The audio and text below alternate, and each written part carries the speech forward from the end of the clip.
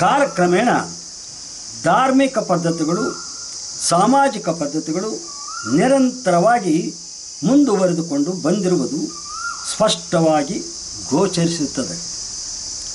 Tsunami ಅಲೆಗಳು ಜೀವಿಗಳನ್ನು ಬಲಿ ತೆಗೆದುಕೊಳ್ಳುತ್ತವೆ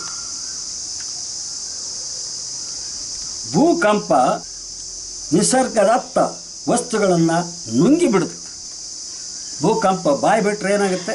ಎಲ್ಲ ಕುಸಿದಿದ್ದವು. ಸುನಾಮಿ ಎದ್ರೆ ಏನಾಗುತ್ತೆ? ಅಲೆಗಳು ಹಪ್ಪಳಿಸಿದರೆ ಜೀವಿಗಳಿಂದ ಬಲಿತಗೊಳ್ಳುತ್ತೆ ಆಮೇಲೆ ಅಗ್ನಿ ಪರ್ವತಗಳು ಜನರ ನಿದ್ದೆಗೆಡಿಸುತ್ತವೆ. ಅಗ್ನಿ ಪರ್ವತದಲ್ಲಿ ಜ್ವಾಲಾಮುಖಿ ಉದ್ಭವಿಸಿಬಿಟ್ರೆ ಅಲ್ಲಿ ಅವನಿರ್ತಾನೆ ಅಂದರೆ ಜನಕ್ಕೆ ಯಾವಾಗ ಜ್ವಾಲಾಮುಖಿ ಬರುತ್ತೆ ಅನ್ನೋ ಭಯ ಕಾಡ್ತಾ ಇರುತ್ತೆ.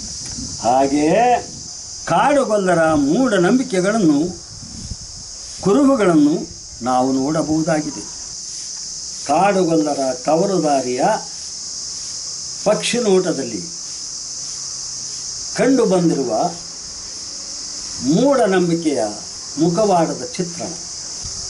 ಅಂಬೆರಾಯ ಮತ್ತು ತುಂಬೆರಾಯರ ವಂಶಸ್ಥಳಾದ ಚಂದನಗಲ್ಲಿ ಚಂದ್ರನನ್ನು ಕಾಣಿಸಿ, ಅವನಿಂದ ಗರ್ಭಧರಿಸಿ ಚಂದಮುಕ್ತಿ ಅಥವಾ ಚಂದ್ರಮೂರ್ತಿ ಜನಿಸಿದ ಮಣಕದಲ್ಲಿ ಸೂರ್ಯನ ಕಿರಣದಿಂದ ಗರ್ಭಧರಿಸಿ ಚಿತ್ತಮತ್ತಿ ಹುಟ್ಟಿದ ಸೂರ್ಯನ ಕಿರಣದಿಂದ ಹುಟ್ಟಿದವರು ಚಿತ್ತಮತ್ತಿ ಚಂದ್ರನ ಕಿರಣದಿಂದ ಹುಟ್ಟಿದವರು ಚಂದಮುತ್ತಿ ಅಂದರೆ ಸಣ್ಣಮುತ್ತಿ ಎಂಬ ಉಲ್ಲೇಖ ಡಾಕ್ಟರ್ ಪರಮಶಿವಯ್ಯನವರ ಹಾಗೂ ಡಾಕ್ಟರ್ ಗುರು ಗುರುಲಿಂಗಯ್ಯರವರ ಗ್ರಂಥದಲ್ಲಿ ಪ್ರಕಟಗೊಂಡಿದೆ.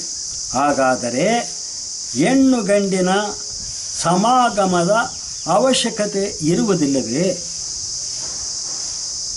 ಇದಕ್ಕೆ ಉತ್ತರಿಸುವಿರಾ? ಎರಡನೇದು ಕಾಡುಗೊಂದರಲ್ಲಿರುವ ಮೂಢನಂಬಿಕೆಯ ಬಗ್ಗೆ.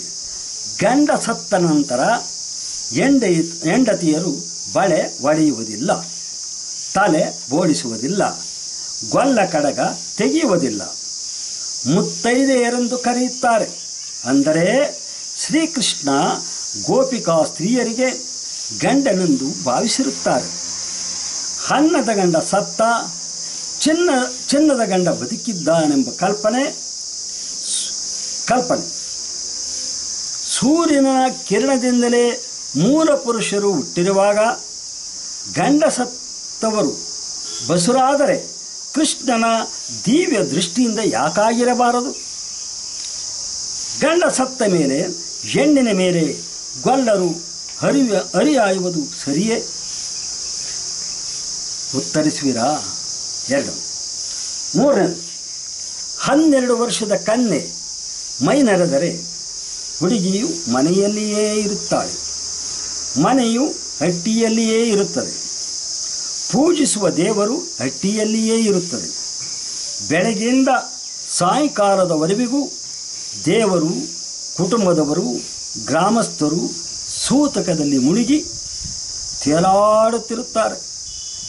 ರಾತ್ರಿ ಹೆಂಗಸರೊಂದಿಗೆ ಪದ ಹೇಳಿಕೊಂಡು ಮೈನರದ ಹುಡುಗಿಯನ್ನು ಕರೆದುಕೊಂಡು ಊರಿನ ಹೊರಗೆ ತೆಂಗಿನ ಗರಿಯ ಕುಬ್ಬದಲ್ಲಿ ಕೂರಿಸಿದ ಮೇಲೆ ಸೂತಕ ಪ್ರಾರಂಭವಾಗುತ್ತದೆ.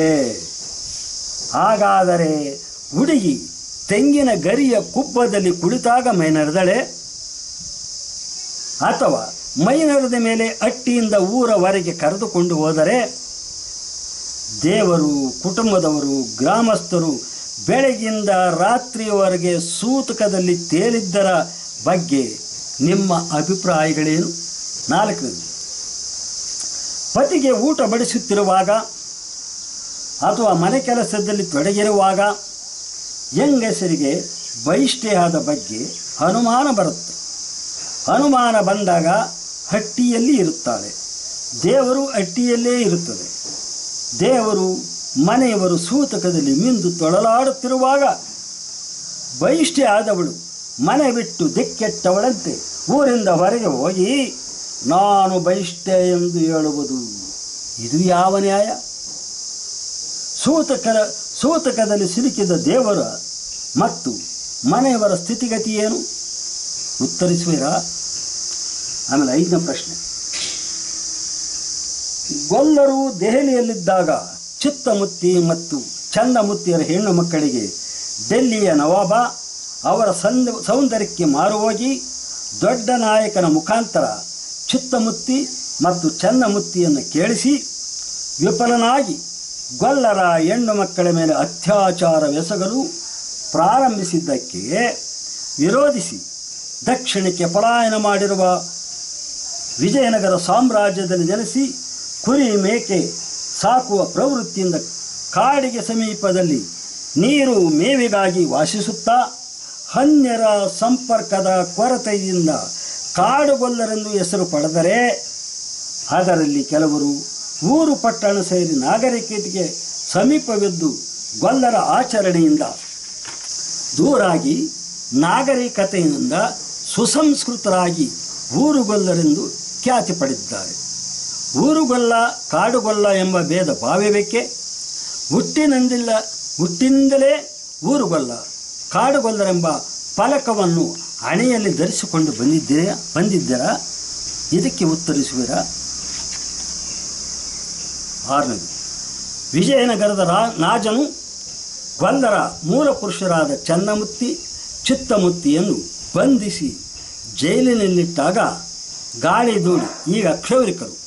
ಚನ್ನಮುತ್ತಿ ಮತ್ತು ಚಿತ್ತಮುತ್ತಿಯ ಹೆಣ್ಣು ಮಕ್ಕಳಿಗೆ ಮಾತು ಕೊಟ್ಟು ರಾಜನಿಗೆ ಅರಿವಿಲ್ಲದಂತೆ ರಾಗಿ ಕಡ್ಡಿಯಲ್ಲಿ ಕ್ಷೌರ ಮಾಡಿ ಚನ್ನಮುತ್ತಿ ಚಿತ್ತಮುತ್ತಿಯನ್ನು ಜೈಲಿನಿಂದ ಬಿಡಿಸಿ ಹೆಣ್ಣು ಮಕ್ಕಳನ್ನು ಮದುವೆಯಾದರೆಂದು ಪ್ರತೀತಿ ಇದೆ.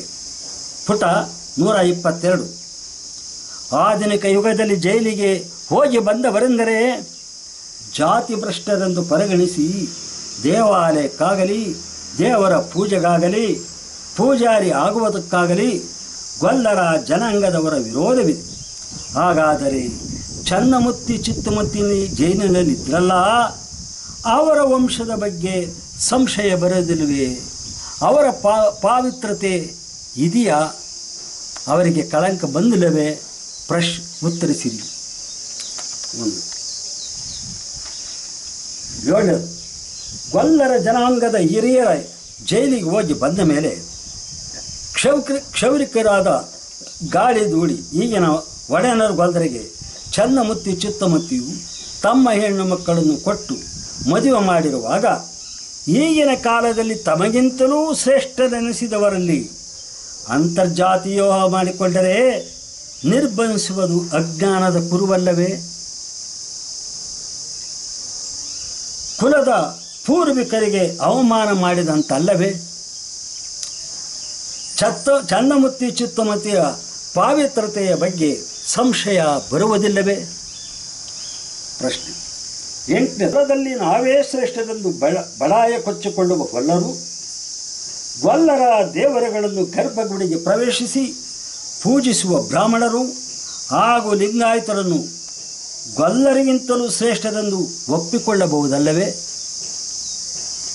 ಇದು ಮಾಡ್ತಾರೆ. ಬ್ರಾಹ್ಮಣ ಕರೆಸ್ತಾರೆ, ಹೋಮ ಮಾಡುತ್ತಾರೆ. ಬ್ರಾಹ್ಮಣರು ಕರೆಸ್ತಾರೆ, ಪೂಜೆ ಪುರಸ್ಕಾರ ಮಾಡುತ್ತಾರೆ. ಆಚಾರ್ಯ ಕೊಡ್ತಾರೆ, ದೇವರು ಮಾಡುತ್ತಾರೆ. ಮತ್ತೆ ಯಾರು ಶ್ರೇಷ್ಠ? ಉತ್ತರಿಸುವೀರ ಈಗ ಬಂತು. ಕಾಟಮ್ಮ ಬಹಳ ವರ್ಷಗಳವರೆಗೆ ಕರಡಿಯೊಂದಿಗೆ ಸಾಂಸಾರಿಕ ಜೀವನ ಸಾಗಿಸಿ ಕರಡಿ ಮರಗಳನ್ನು ಎರಿಗೆಯಾಗಿ ಕೊನೆಗೆ ಕರಡಿಯಿಂದ ತಪ್ಪಿಸಿಕೊಂಡು ಚಿತ್ತಯ್ಯನ ಜೊತೆ ಸಂಸಾರ ನಡೆಸಿದಳೆಂದು ಉಲ್ಲೇಖವಿದೆ. ಪುಟ ನೂರ ಇಪ್ಪತ್ನಾಲ್ಕು ಹೆಣ್ಣಿನ ಶೀಲದ ಬಗ್ಗೆ ಶಂಕೆ ಬರುವುದಿಲ್ಲವೇ? ಆಕೆಯ ಗರ್ಭದಲ್ಲಿ ಜನಿಸಿದ ಕರಡಿ ಬುಳ್ಳಪ್ಪನ ಚಾರಿತ್ರೆ ವಧೆಯಾಗುವುದಿಲ್ಲವೇ ಕರಡಿಗೊಂದರಿಗೆ ಕಳಂಕ ಬರುವುದಿಲ್ಲವೇ? ಆಮೇಲೆ ಮೂಕ ಪ್ರಾಣಿಯು ವಿಸ್ಮಯ ಪಡುವಂತಹ ಸಂಪ್ರದಾಯ ತಲೆತಗ್ಗಿಸುವಂತಿದೆ. ಎತ್ತರೆ ಸೂತಕ, ಸತ್ತರೆ ಸೂತಕ ಮೈ ನೆರೆದರೆ ಸೂತಕ, ಮದುವೆ ಆದರೂ ಸೂತಕ. ಪುಟ ಎಪ್ಪತ್ತೊಂದು. ಮೈ ನೆರೆದಾಗ ದೇವರು ಹಟ್ಟಿ ಮನೆತನಗಳಿಗೆ ಸೂತ, ಸೂತಕ ಎಂಬ ನಂಬಿಕೆಯಿಂದ ಇಂತಹ ಹೆಣ್ಣು ಮಕ್ಕಳನ್ನು ಸಾಂಕೇತಿಕವಾಗಿ ಹಸಿರುಗುಡಿಸಲು ಕಟ್ಟಿಬಿಡುತ್ತಾರೆ. ಊರವರೆಗೆ ಅನಾಥಳಂತೆ ಕಾಲ ಕಳೆಯುತ್ತಬೇಕಾಗುತ್ತದೆ ಬಾಣತಿಯರು ಹಸುಗೂಸಿನ ಜೊತೆಯಲ್ಲಿ ಊರವರೆಗೆ ತಡಿಕೆಯ ಬದಿಯಲ್ಲಿ ಮೂರು ತಿಂಗಳವರೆಗೆ ಬಿಸಿಲು, ಗಾಳಿ, ಮಳೆಯಲ್ಲದೆ ಬಟ್ಟಂ ಬಯಲಿನಲ್ಲಿ ಅನಾಥರಂತೆ ಕಾಲ ಕಳೆಯಬೇಕಾಗುತ್ತದೆ. ಬಹಿಷ್ಠೆ ಆದವರು ಮರದ ಕೆಳಗೋ ಅಥವಾ ಪಕ್ಕದ ಗ್ರಾಮದ ಊರಿನ ಮೇಲುಜಾತಿಯವರ ಪಡಸಾಲೆಯಲ್ಲಿ ಮಲಗಿಕೊಳ್ಳುತ್ತಾರೆ. ಇಂತಹ ಸಂದರ್ಭದಲ್ಲಿ ಜಾತಿಯವರ, ಬೇರೆ ಜಾತಿಯವರ ಯುವಕರು ಕಾಡುಗೊಲ್ಲರ ಹೆಣ್ಣು ಮಕ್ಕಳಿಗೆ ಲೈಂಗಿಕ ಕಿರುಕುಳ ನೀಡುವ ನಿದರ್ಶನಗಳಿವೆ. ಸೀರೆ ಕಳೆದು ಕೊಂಡರು ಕಟ್ಟುಕಾಡು ಬಳಿ ಇರಬೇಕೆ? ನಿಮಗೆ ಸೀರೆ ಕಳ್ಕೊಂಡ್ರು ನಿಮಗೆ ಕಟ್ಟುಪಾಡುಗಳು ಬೇಕೆ? ಪರರ ಜಗಲಿ ಮೇಲೆ ಮಲಗಬೇಕೆ? ಪರ ಹುಡುಗರ ಕೈಗೆ ಲೈಂಗಿಕ ಕಿರುಕುಳಕ್ಕೆ ಒಳಗಾಗಬೇಕೆ? ಹಾಗಾದ್ರೆ ನಿಮ್ಮ ಪಾವಿತ್ರತೆ ಇದೆಯಾ?